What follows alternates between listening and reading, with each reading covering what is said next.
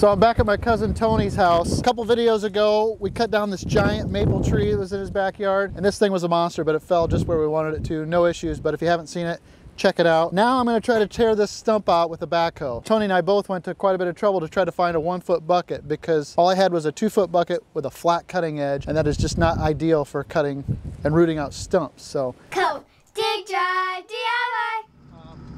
I called up a farmer I know, got a bucket, and I'm gonna try to borrow that, see if we can't get this out. Outside is seven. Okay. So the outside of yours is eight. So I had Tony go grab this one foot bucket and it will not fit on the backhoe. And I, I have an adapter at home, like a quick attach adapter that I normally take off when I'm running my a wood splitter. And I think that maybe that will accommodate this bucket. So we're gonna run home and see if we can grab that adapter and if it'll work with this. If not, I'm not gonna try to dig this stump out with my two foot bucket. Five. That's what we needed. That's right. See, I think that's what that's this for. is the eight in here. Of course it's on wheels.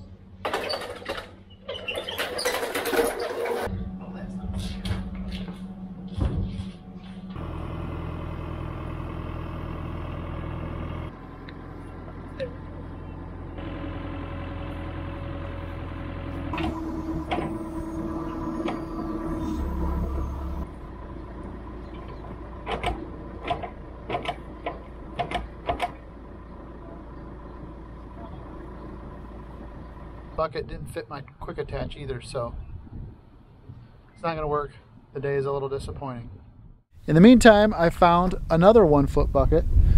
This is also from a different local farmer, and uh, I think this one has a better chance of working. It's built just a little bit differently than what the last one was. I think I have some pins that will work for it. They're not the right size. It's not even close to fitting that. I did have some smaller pins from an old forgotten project of long ago. So it's not ideal, but since this is just gonna be a stumping bucket, I'll get away with using it a few hours a year. For what I'm after, that'll do just fine. I gotta see if this back one's gonna fit.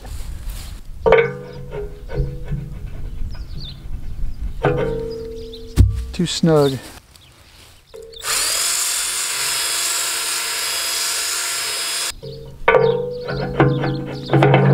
Goodness.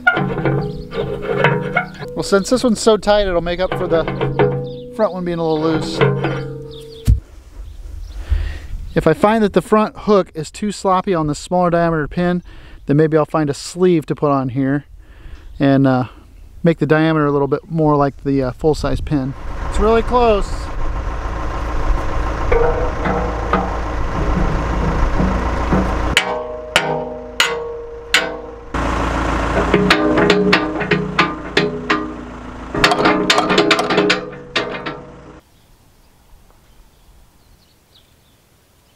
Okay, I think that's gonna work. I just need to find a bushing that is an inch and a quarter, inch and three quarter ID, two and an eighth inch OD.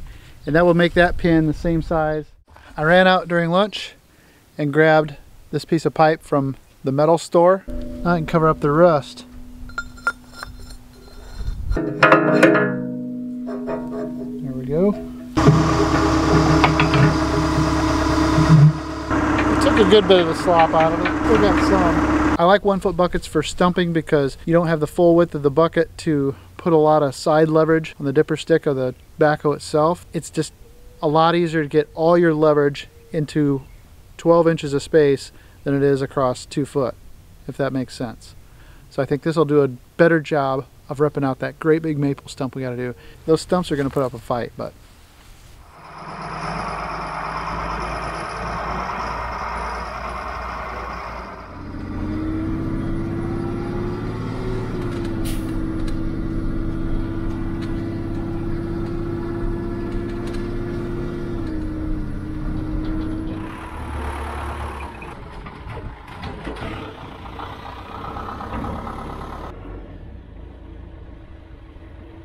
know what this is, Tony? Looks like an ice auger to me. Look. When we tore down our grandparents' barn, I found this in there and I was told it was an auger for dynamite, for dynamite and stumps. Can you imagine if we dynamited this stump? I can't imagine drilling into there and putting dynamite in. That would be awesome. But unfortunately, that's not in the cards for today. We're gonna have to use that thing. What if you went into the side? Maybe you could go on the side. this is gonna be a challenge and it'll be interesting to see how long it takes. So we better get going on it. Here, you start augering. I'll start digging. Where's the edge of the building anyway? right here in the corner. That's the corner of the building, so the whole thing's mostly out of it. All right, the biggest thing about digging out stumps is trying to maintain your patience. Whenever I dig out a stump, I'm reminded of that uh, that old commercial for Tootsie Pops, like how many licks does it take to get to the center? Because the guy, the owl that's doing the test, he gives up so quick. Mr. Owl, how many licks does it take to get to the Tootsie Roll center of a Tootsie Pop? Let's find out. One, two, three, three. That's what happens is you start pecking away at a stump and then before you know it, you give up and you just try to muscle it out of there and it never works out. So what I'm gonna do is try to dig on each side of it get through those first roots on the top. And this is hard on the backhoe. I'm already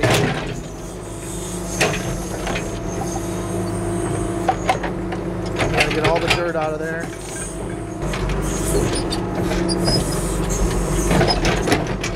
I kind of try to get the bucket in there and then pry up on stuff. Use the leverage to pry up on the roots. It just takes a long time. You gotta, like I said, you gotta be patient. You just gotta keep pecking, pecking, pecking. You know, you get going on this and think, oh, I'm gonna take my time and go easy and go easy on the backhoe. And then you start looking at your watch and you think, this is taking so long. You know, maybe we should have ground this out. Maybe we should have did this. You know, the problem with grinding this stump out is it's to be right on the corner of his new barn.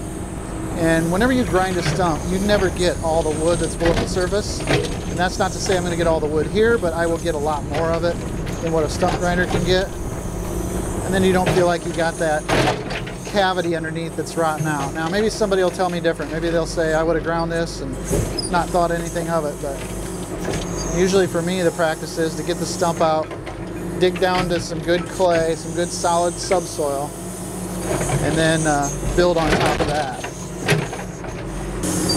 This one's got a great big leader coming off of it right here. So we're gonna have to chew, chew through that.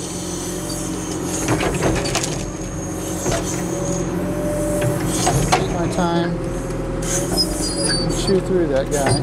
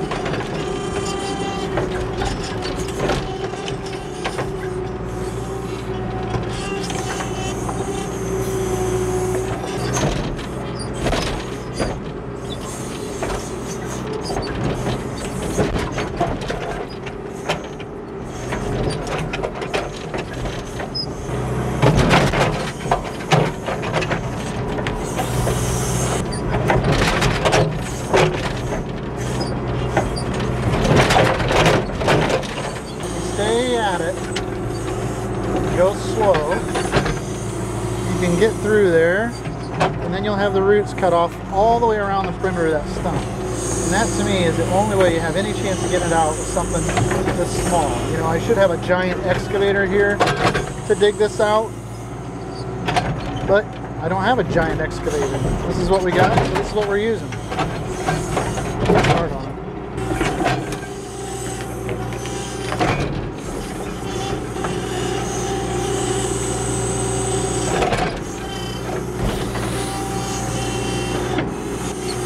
This is like the worst thing you can do with a backhoe. Let's try to rip stumps out with it.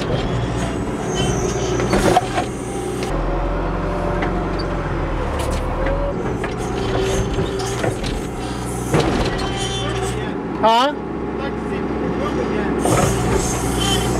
I doubt it. He wants to know if I can move it yet. Let's see. If I can grab a hold of it.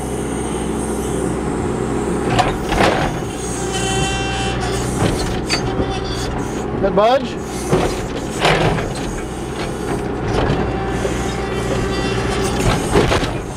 Maybe you see a budge. This might be a two-day event. Yeah, it's wiggling.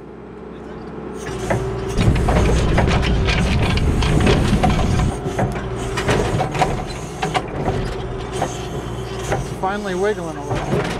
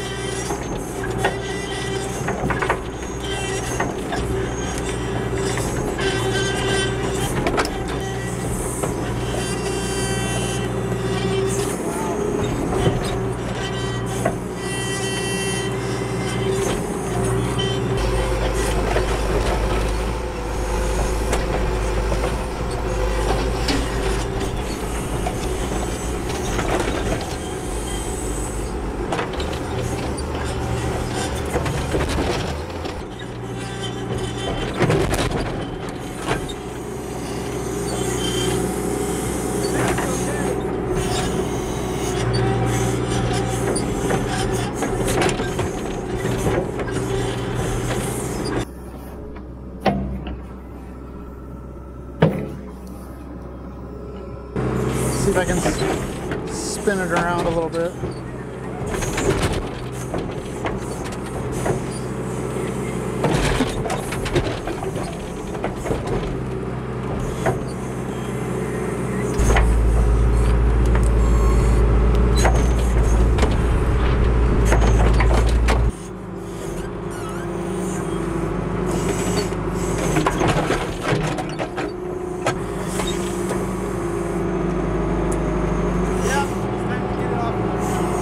Okay, she's loose now.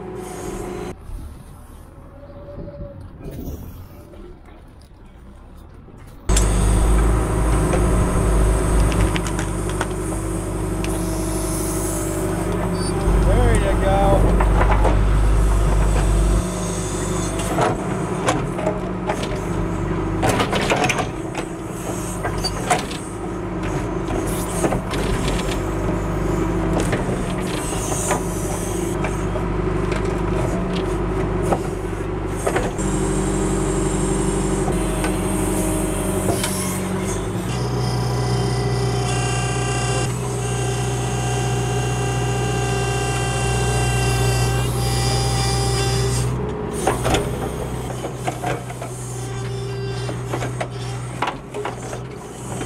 My only shot of doing anything with that is to get it on the trailer. I can't. I don't even think I can get it in the dump truck.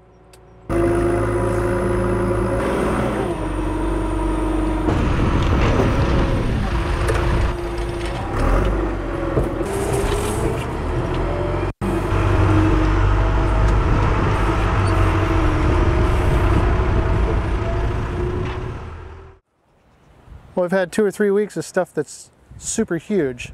I cut down probably the biggest tree that I'd ever cut down. Then I went to Tractor Time with Tim's and cut up the one of the biggest oak trees I had ever seen. Did you see that? Yes, I did. Yeah. And now I dug out probably one of the biggest stumps I've ever dug out with a backhoe. So And that was now, impressive. yeah, I was Probably, what is it, maybe at least 12 foot diameter. Yeah. There's a big hole. I kind of parked the backhoe in there so you get a scope of how deep it is. It's it's huge. So what are you going to do next? You're going to try to Uh, I need to grade some topsoil. Then I'm going to bring backfill in, get this all compacted down into where the holes are. foundation's going to be. All right.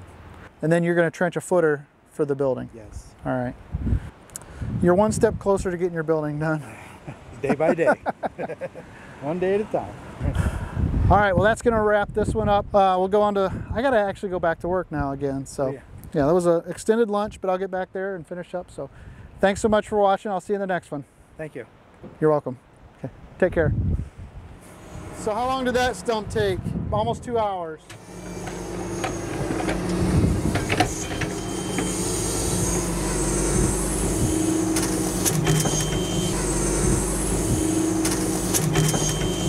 I hit my own drone, dang it. At least it didn't fall very far. Now it's got grease on it. That's okay.